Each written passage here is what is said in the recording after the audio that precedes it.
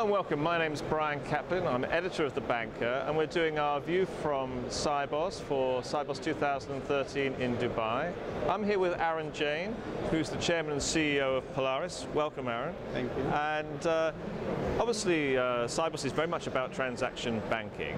What do you feel are the big challenges facing transaction bankers uh, today? I think it's a, all the three-dimensional challenges which you call it in a transactional banking. One is around global uh, footprint which is getting extended. The second is the product offering which goes along, along with it. And the third piece is around the technologies which are multi-generation technologies are there. So they are facing all the three-dimensional challenges where complexity becomes so uh, intense that uh, it need to be resolved from a perspective of uh, simplification of technology, simplification of the product and simplification of the geographical rollout when they launch new products. Okay, and we're in the Middle East, um, in, in the emerging markets, where we see a lot of in global terms, second and third tier banks, yeah. with all due respect to them, that need to compete against international players now, and they find that leap very difficult. Um, how is it possible for a, a, second or third tier bank to, to make that leap so it offers a sort of joined up transaction service for its customers? Yeah, I think we spotted that need uh, in this marketplace that they need an integrated uh, global transaction banking, so they need all the products around cash management, all the products related to receivable, collections, trade finance, liquidity, and uh, smart corporate business exchange. We call it portal as a corporate business exchange. So they need all of them into one bucket. Otherwise, in a global marketplace on the technology vendors, they are separate vendor for payment, and separate vendor for collection, and separate vendor for liquidity, and separate vendor for trades.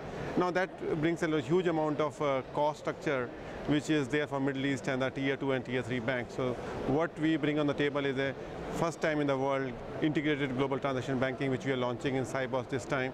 So that's the key value proposition for tier 2 and tier 3. Besides what we are contributing in tier 1 which is around each solution payment services hub or funds control hub or liquidity management of global level. So that is for tier 1. So we are distinctly differentiating our offering for tier 1 bank and tier 2 and tier 3 banks. Okay, um, one of the topics that's been discussed at the conference is very much the sort of prevalence of so-called big data and how there's much more data around that banks, if they can gather it effectively, they can use it to help their customers.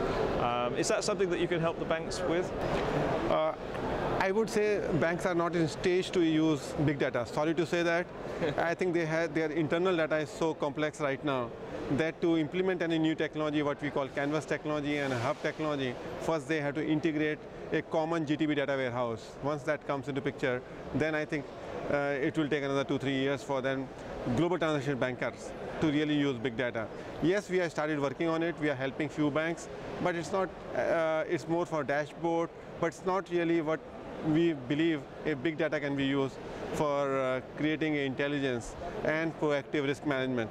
So that is still a long way to go. Okay, so we've got some way to go on that. Yeah. Now, regulation is here and now. It can't mm. be ignored. Yeah. Uh, there's been a lot of discussion at the conference about some of the regulations like FATCA, mm. uh, KYC, and so forth, and some announcements about banks setting up third-party services to, to pull their knowledge and, and, and, supply that all together. Do you think that's a trend that's taking off in, in the banking sector?